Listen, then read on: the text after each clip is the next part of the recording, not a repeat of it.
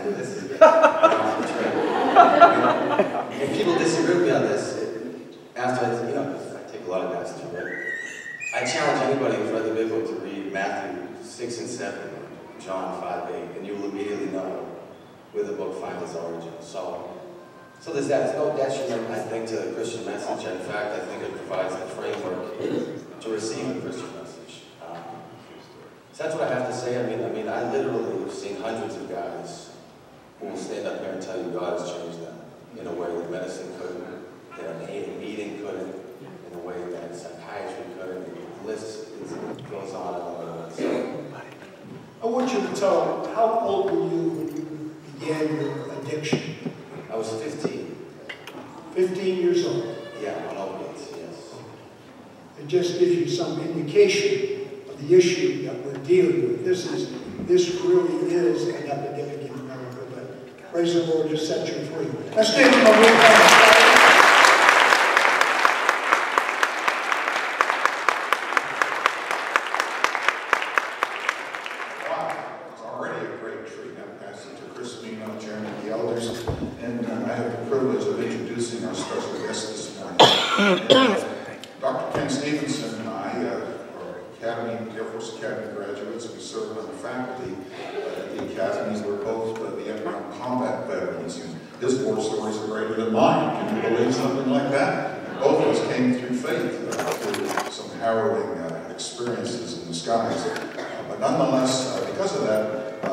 10, uh, when it was on faculty, was chosen uh, four select uh, professors from the academy in the mid-70s to do a scientific analysis of the legendary Shroud of Turin.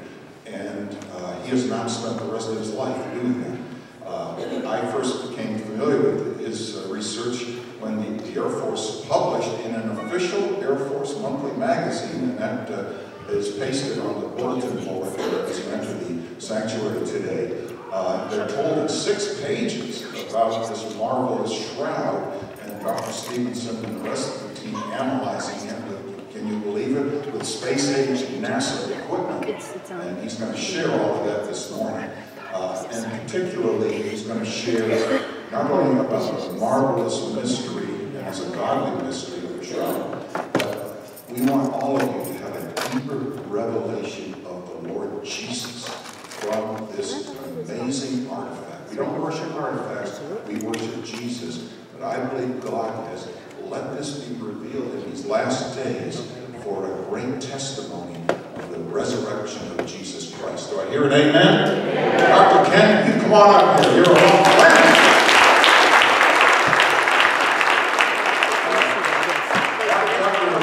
Picture was before you start, so we can. Mark is also an Academy graduate. Dr. Ken were classmates, and we've been having a little Zoom reunion this week, and he's going to send this to the rest of the class as a testimony of uh, what we're doing for Jesus. Got it? All right.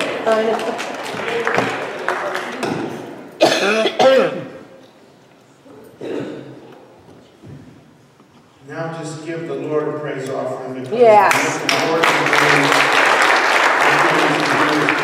About the blood of Jesus. See, I believe the shroud is real. I've spent nearly 39 years now researching it. Um, you had to give a testimony in three minutes. I have to condense 39 years in 30 minutes. So um, you got to understand something. Whether you believe the shroud is real or not is not important to me. But what is important to me is that you leave here today with an appreciation for what it actually cost Christ to go to the cross in your place. Yeah. Because you'll never again, after you see what I'm going to show you in a few minutes, you'll never again be able to say, I didn't know.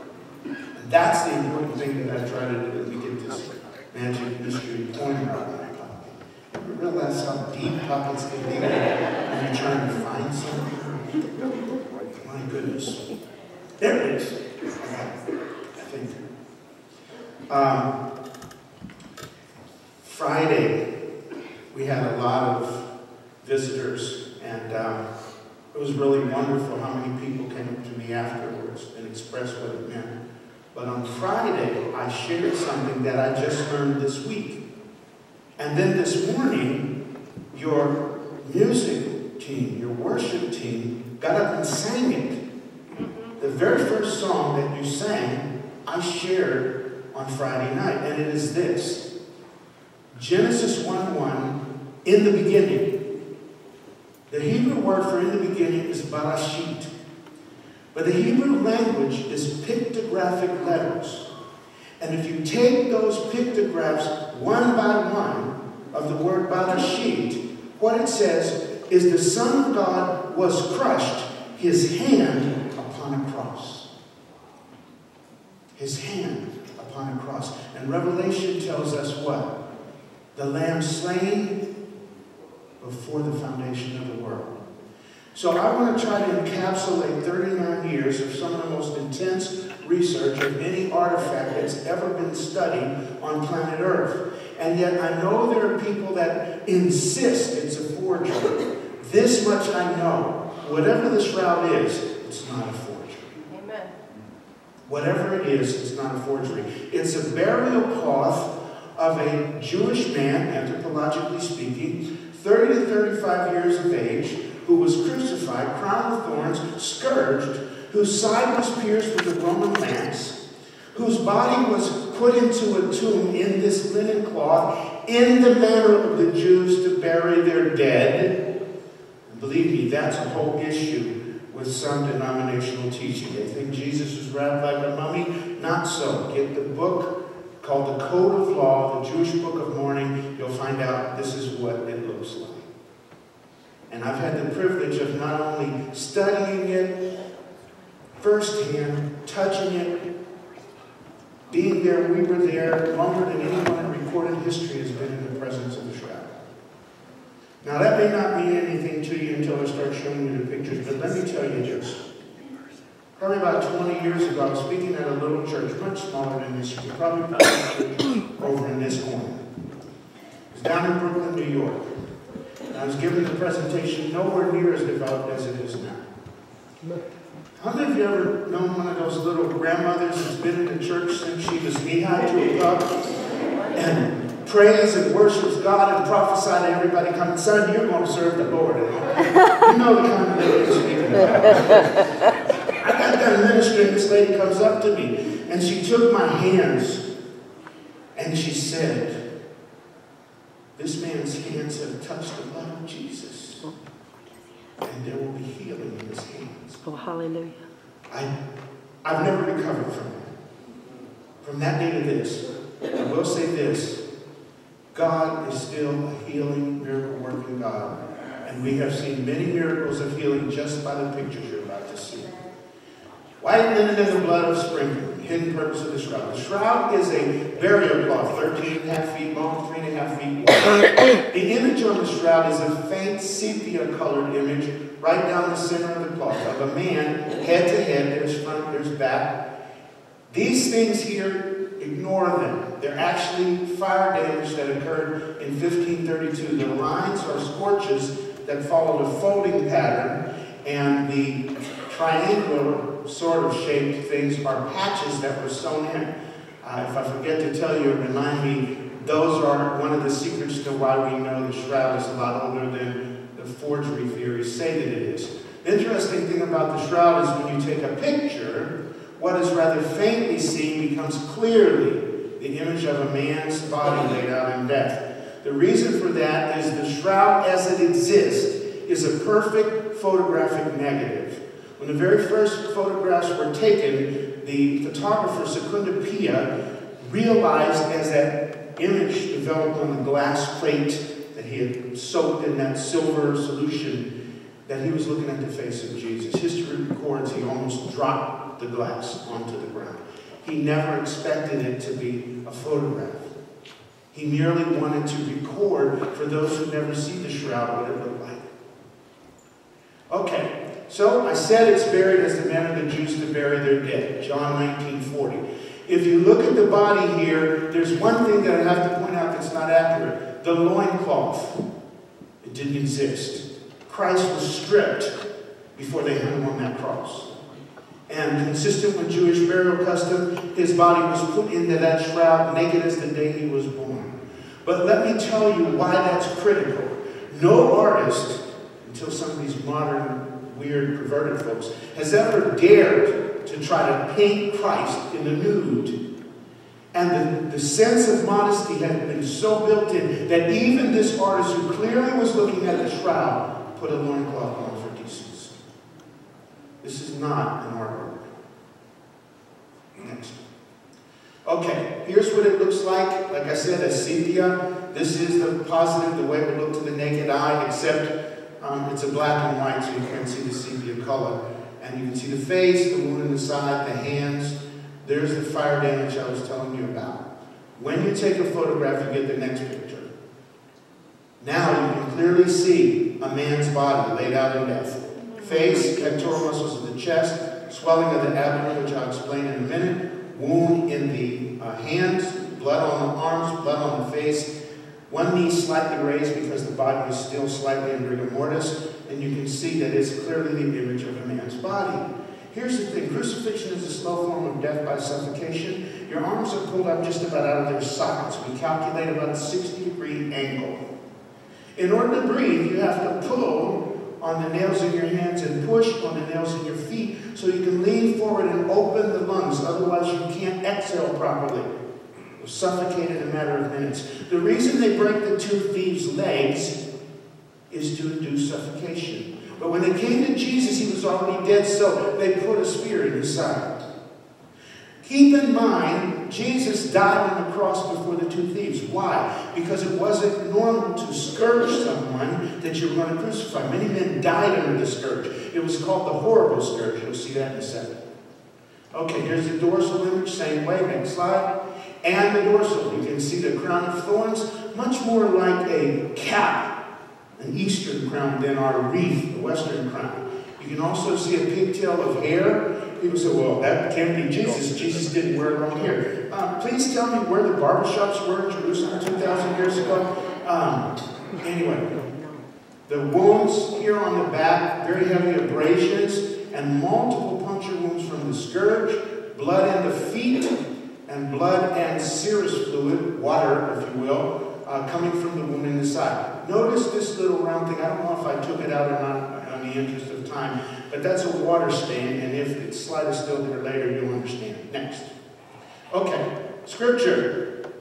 David, the sweet psalmist of Israel, records an exact description of crucifixion 600 years before the Persians invented it as a death. 600 years. There's no other book ever written in history that's been proven prophetically accurate other than the Bible, other than the Word of God. And for this now to be a forgery, the forger had to match something written 600 years before crucifixion and match it medically speaking. I don't think so. Wound in the feet. We saw the wound in the hands. Next slide. Possible place for the nails here in the feet, and also there could be one through the ankles. Some researchers suggest there's two nails.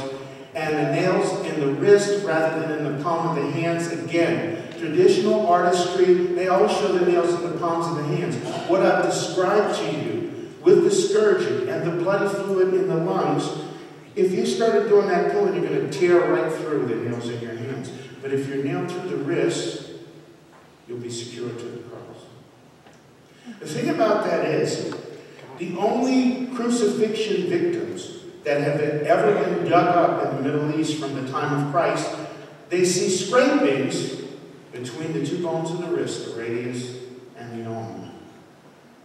And they see a nail right down here above the heel.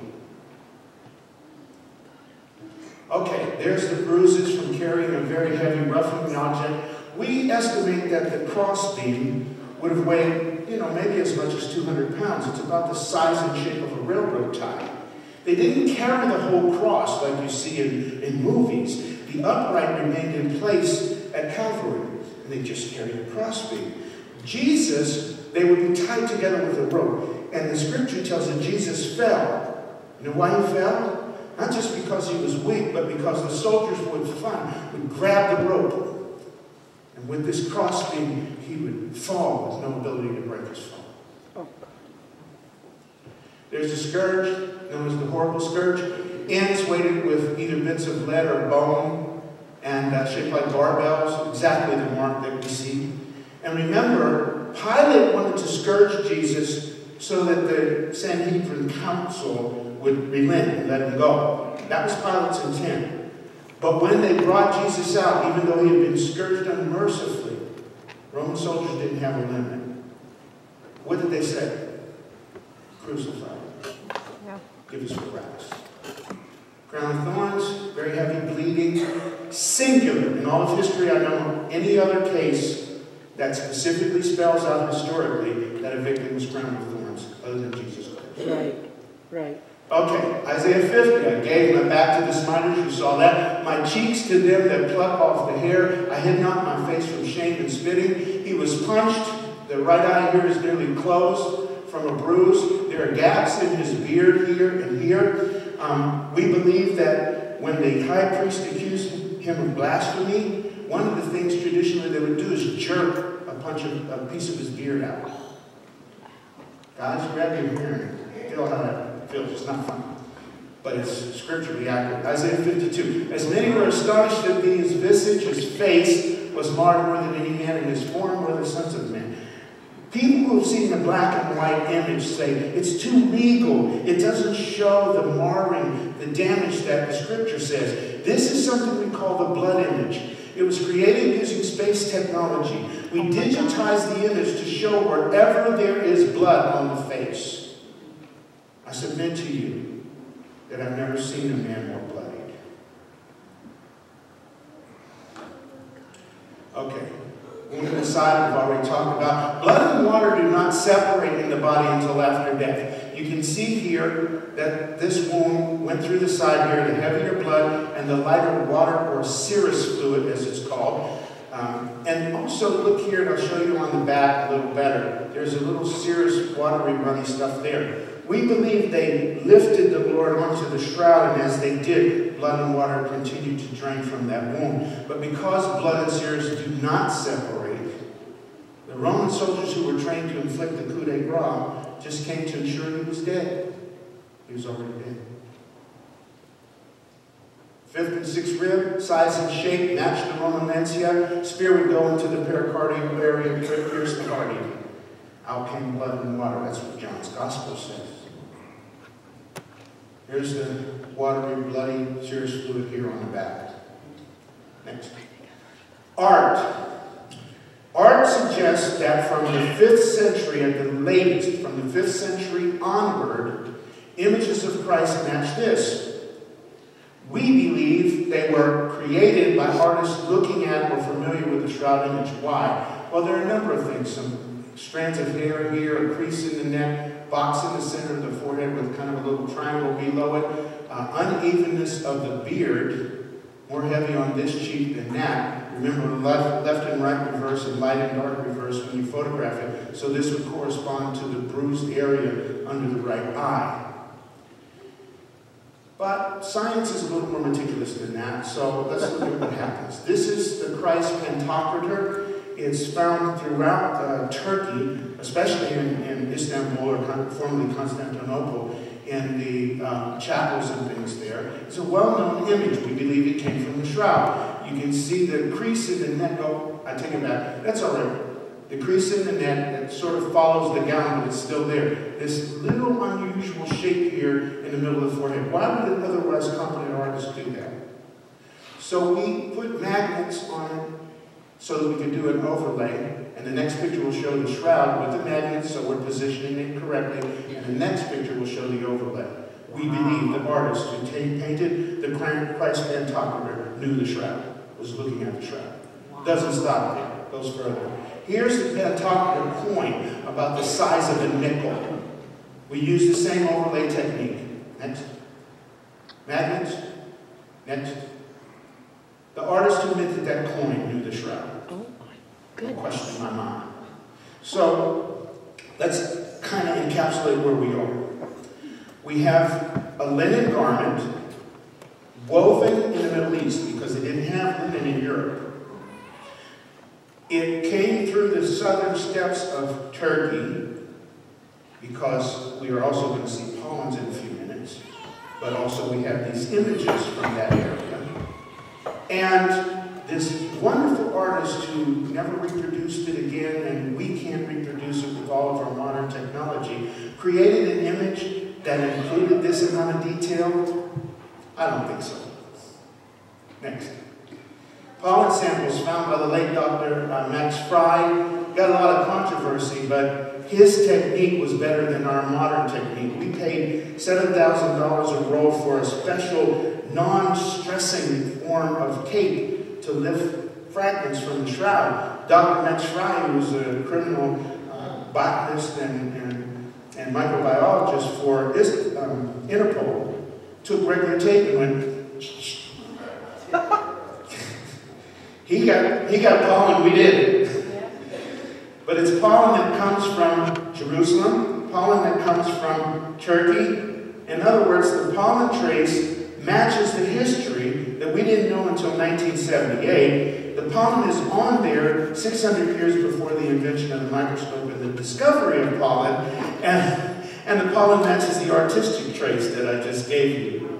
Pretty smart forgery, wouldn't you say? Next. This is what got our foot in the door in Italy and led to our team being selected to do the research. It's a three-dimensional image of the face. Notice the box on the forehead. Notice the bridge of the nose, the lips and the mustache, the beard, the gap here. Notice the cheekbone. Everything that matches the image perfectly three-dimensional. Now, just like Secondo Pia, we did not expect the image to be three-dimensional. Secondo Pia didn't expect it to be photographic. What happened was we got a spin-off of space technology called a VP8 image analyzer. Um, plain English, when they sent the astronauts to the moon, they wanted to map out the surface of the moon so it wouldn't hit a crater and kill the astronauts. American taxpayers take a good view of that. And so they know that the moon reflects the light of the sun. They developed this equipment to measure the distance that was reflected by the light from the moon's surface. The shroud, we knew, seems to have some kind of correlation between the brightness of the image as viewed on the shroud and what we see. So we put the image under there and we get a three-dimensional. We were blown away. Nobody expected that. We can't, if I took a wonderful Android, oh, yep. Sorry No. If I took this wonderful Android phone and took everybody's picture and put it under the VP8 an, uh, analyzer, your own mother wouldn't recognize you. Because the camera cannot encode automatically distance information. The shroud does. And it does it perfect to a body form. Next. So here's the body, front, pectoral muscle the chest, swelling of the abdomen, one of the signs of death by suffocation. The bruises on the back, all the way down to some roundedness in the area of the calves and thighs. There's our pigtail of hair. The shroud is perfectly three-dimensional front and rear. We only know that it exists. We cannot duplicate it, nor can we give you a proper explanation for why. The late um, Dr. Ray Rogers, dear friend of mine, lovely brother in the Lord, who had spent all of his lifetime developing, as he told me, Ken, weapons of mass destruction. God put me on this project. I want to do something good with my life. And before he passed away, he had come up with a phrase that he called flash photolysis. And he basically implied that every pore of the Lord's body suddenly fired a miniature laser beam for a split second of time. He caught a lot of flack for that. And sadly, he kind of backed off of it. I don't think it's that far out of the realm of possibility. What I will say is none of us knows for sure what exactly happened. We found coins, fragments of pottery on the eyes, something like that, and we wanted to know what they were. It is in keeping with Jewish burial custom. Here's the lepton of Pontius Pilate. This was very badly eroded, but notice the edge of the coin as it struck, all cut on this end and rounded here. These are the letters that are eroded here. UCAI, part of the inscription, uh, inscription Tiberius Caesaros. Here is the shepherd's staff. The size and shape are exact, 11 millimeters, about the size of a dime. Um, U, C, A, I, the shepherd's staff, the edge of the coin. Can everyone see that? Yep. No doubt, right? Now let's see the 3D. U, C, A, I, shepherd's staff, edge of the coin. So if this thing is a fake, somehow the guy got a lepton of Pontius Pilate that was in circulation from 30 to 33 AD that was a legitimate coin for a Jewish burial because it didn't have the image of Caesar on it, and he put it on the eye and got that in the picture. Next. Obviously, I'm being just a little bit facetious, but okay, here we go. This is us with the uh, platform. Somewhere back here, that might be me. There's a little afro hairdo back there somewhere. this platform that we built, pure stainless steel with polymer-coated magnets, and it was used to hold the, the shroud without damaging it. We didn't want to damage it in any way. And the gold panels you see are actually gold mylar, like you saw on the astronauts. That's what we put on there. We didn't want to contaminate the shroud in any way. And then the Italian authorities marched it into us, thumbtacked down to a plywood board. Oh, Ugh. oh, are you kidding? Next. Okay, we backlit the shroud. Why? Because there is no image. It is superficial. There's no pigment, no powder, no dye, nothing artificial. So when you see somebody on Discovery that says, oh, I got a statue and I dusted it and I put it on a cloth and I came away with the image just like the shroud, just crack up and laugh because he's an idiot. There's no. It's like a hair on the back of your hand. The upper curved surface of the fibers of those hairs are the shroud image. If you snap them, they're pure white linen at their core. Next. So we come to Scripture. Romans 11, 25, 26 tells us that when the time of the Gentiles is fulfilled, all Israel is going to be saved.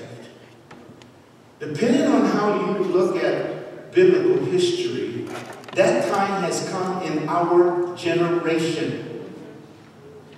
Because when Jerusalem was recaptured from the hands of the Gentiles, and right now the, the, the Arabs, the Muslims are trying to recapture what? The Temple Mount. Why? Because Satan said, I'm going to put my temple above the temple of God. That's why.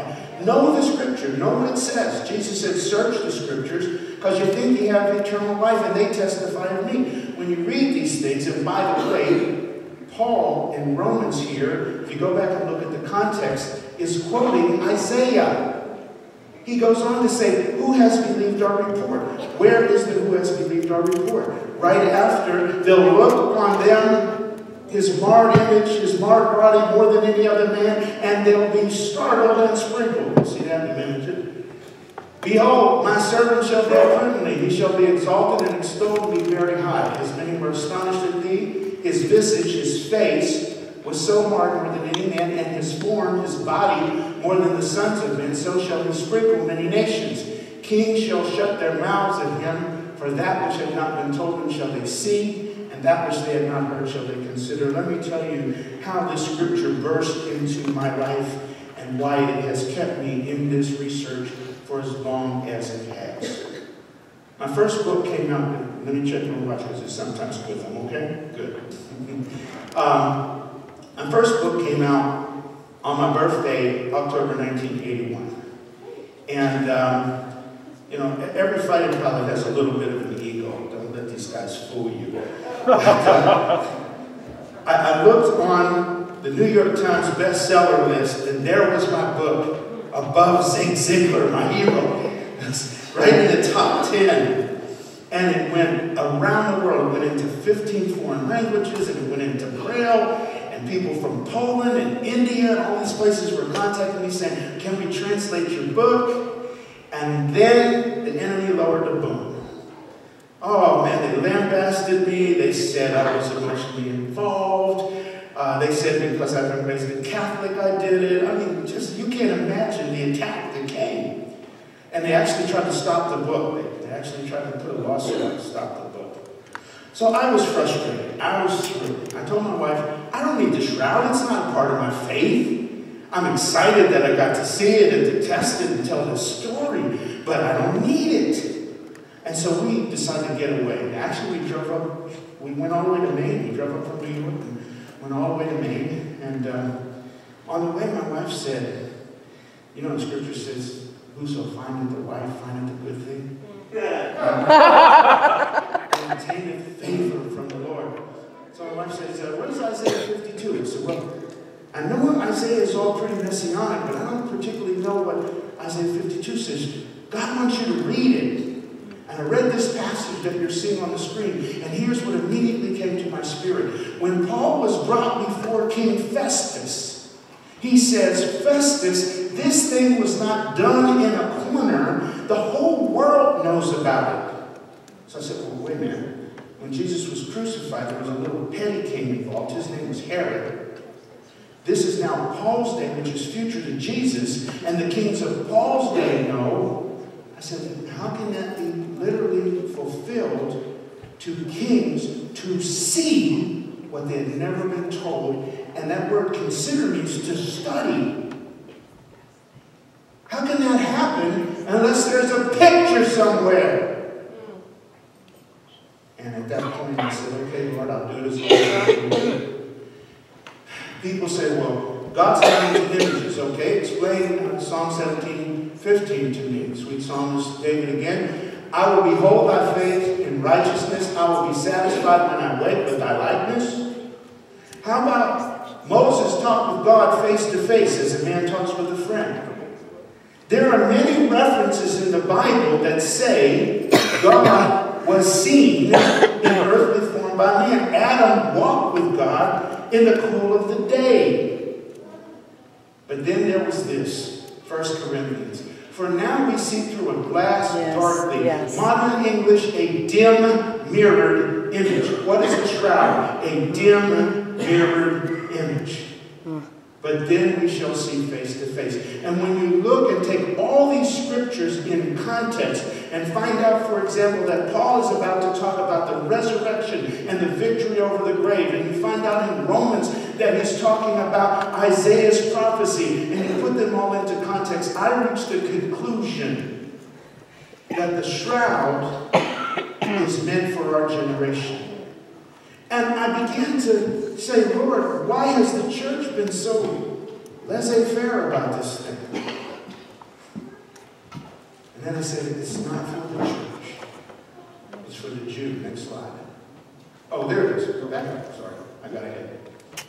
If the casting away of them be reconciling the world, what shall the receiving of them be but life from the dead? Come, let us return to the Lord, for he has torn and he will heal us. He has smitten and he will bind us up. After two days he will revive us. In the third day he will raise us up and we'll live in his sight. Do you understand the one and two day thing from Scripture? One day is as a thousand years. A thousand years is one day. So on the second day he's going to revive us. And in the third day, he will raise us up. You know how many Christians were believing that a year 2000 would be the time of Christ's return? They got fooled, didn't they? Because Jesus said, You don't know the time or the hour, but you can know the signs of the times. Yep. Gulf 1 broke out. Pastors were saying Armageddon. I said, Not so. Nations don't line up. Gulf 2 lined up. Pastors were saying Armageddon for sure. Even the news media got in on the game. I said, Not so. Nations don't line up. This year, folks, Persia rising its head. Gog and Magog coming down from the north to be involved in the Middle East. And what's taking place quietly that a lot of people don't know about is Jews are coming to their Messiah. Jesus said, What? What did his word say to us? When the time of the Gentiles is fulfilled, all Israel shall be saved. All Israel shall be saved. So I looked at this, Nazah. And in Hebrew it means to spurt, to sprinkle, to startle, and it's tied with the blood of expiation. You know what I mean by the blood of expiation. That's when the priest would go in to the Holy of Holies, and he would take the blood of the lamb, and he would sprinkle it on the mercy seat. And he would anoint the horns of the altar, and then he would come out and sprinkle it on the people. Why? Because without the shedding of blood, Yep, there's no remission of that's sin. exactly Yeah. right. I also found it fascinating that the blood on the forehead is over a phylactery, little leather box containing a portion of scripture. And when you see them in Israel, they have the shin, that what looks like a backward three, the shin embossed. And you know what that means? The blood literally covered the law. Yeah. Yep. So I looked at it. Zechariah says, I'll pour out on the house of David and the inhabitants of Jerusalem spirit of grace and supplication. They'll look on me when they pierce, and they'll mourn for him as one mourneth for his only son. And I'm getting ready to close with this. Christians, we're expecting the Lord to come back. Any minute. All the signs are lining up, right? But what I don't believe is in this rapture me out of here, Jesus, there's no intelligent life on the earth. I'm, I'm sorry, I, I- I don't want to shake up your theology, but I believe the Bible teaches we're not ordained to wrath. That's different from we're not ordained to persecution. Yep. We're not ordained to tribulation. We're not ordained to wrath. And if you doubt that, ask yourself this question Why are Christians now being beheaded for the faith? Hmm. Why are Christians in America being ridiculed and mocked and put down for our faith? You think persecution isn't coming? Wake up, church. Yeah. yeah. It's already here. Yeah, it is. But I don't believe we're for wrath. But I do believe that we're expecting our Messiah. So are the Jews. Chris went to an LL event, I think it was, right? And they were talking about, well, yeah, we're expecting the Messiah, and when he gets here, we're going to ask if this is his or second time. Whoa. But what are they expecting? They're expecting the same thing they expected in Jesus' day. They were zealots. They expected Jesus to come in on a white horse, knock the Romans out of power, sit on the throne of David, and rule. They didn't get that. They got the cross. Yep. So now what are they expecting? Same thing. They're expecting Jesus to come in on a white horse, knock the Palestinians out of power, sit on the throne of David, and rule. Why would you mourn if you saw your hero come on a white horse? By the way, Revelation says he's coming on a white horse with a linen garment dipped in blood. Further says that the clean white linen is the righteousness of saints. Why? Because it's dipped in his blood. So why are they going to mourn? And how are they going to look on the one they've pierced? Next three slides, one at a time. Nazah, first letter, nun. It means fish, sprout, seed, descendant, offspring. It also means heir to the throne. Next. Zain, second letter, Zain. It means a sword, an axe, a weapon. It is the verb to pierce. Final letter. It means to behold. Put it all together with Hebrew pictogram, and you have. Nazah means, in literal Hebrew, behold, the heir to the throne pierced. Now, I may not be the sharpest tool in the drawer, but you know that old saying, if it looks like a duck, quacks like a duck, duck, swims like a duck, it's a duck? If it looks like the burial cloth of Christ, if it matches the Word of God like the burial cloth of Christ, if the Scriptures line up with it, it just might be the burial cloth of Christ. But I told you I didn't come to convince you of that. But guess what? You walk out the door today, you can never again say you didn't know what it cost Jesus to live on the cross of Christ. Mm. You've seen it up close and personal. Yeah. That's a lie. Yeah. It'll change you if you let it. One other thing. Remember those stripes that you saw with scourge wounds? I've been giving this lecture now since 1976. And it's only improved with time because the more we've studied, and by the way, of the 40 original scientists, the ones who are still alive, all are still studying. Our resident agnostic Professor D. German, electrical engineer from the Air Force Academy, in that carpool, proudly proclaimed everywhere he went that he was our resident agnostic and he kept us honest. And he was giving this lecture one day as he shared with me years later at a Shroud conference. He said, Ken, I was giving the lecture and God said, You've seen it, you've touched it, and you walk around proudly proclaiming to be an agnostic. He broke on the spot, gave his heart to the Lord. Oh, But people who have seen those stripes and made the connection between the truth of God's word and what their eyes beheld have been healed. With his stripes, ye were healed. It's past tense, it's done. Receive it in the name of Jesus. It's been my honor to come and speak to you. I know we have another service coming. I don't want to hold you up, but God bless you and thank you for having me. Bless your pastor, Chris and Bart, my dear buddies. God bless you.